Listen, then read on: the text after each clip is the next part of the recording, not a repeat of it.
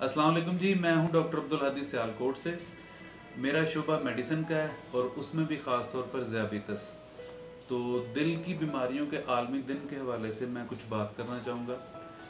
दिल की बीमारियों की एक अहम वजह ज़्याबितस का बुरा कंट्रोल भी होता है। तो अगर आप दिल के अमराज से महफूज रहना चाहते हैं और आपको ज़्याबितस का मर्ज भी लाक है तो दिल की बीमारियों से महफूज रहने का सबसे बेहतरीन तरीका अपनी शुगर को कंट्रोल करना है।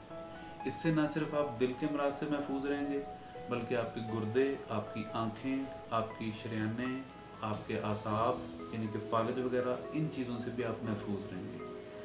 तो अब दिल की बीमारियों से बचने के लिए शुगर की कुछ ऐसी दवाइयाँ आ चुकी हैं, जो कि आपको शुगर और दिल से दिल की बीमारियों से बैक वक्त महफूज रखेंगे। तो अपनी शुगर का कंट्रोल रखें। इन दवाइयों में मेटफॉर्मिन के साथ साथ D P P four inhibitor और कुछ और दवाइयाँ भी हैं। मिसाल के तौर पर विगलिप और एड्रांस अगर इन दवाइयों का इस्तेमाल आप अपने मौलद से मशवरे के साथ करेंगे तो ना सिर्फ़ आपकी शुगर कंट्रोल रहेगी, बल्कि आप दिल के अमराज और दीगर पेचीदगियों से भी महफूज रहेंगे। अल्लाह ताला हम सबको महफूज रखे, बीमारियों से भी और उनकी पेचीदगियों से भी। शुक्रिया जी।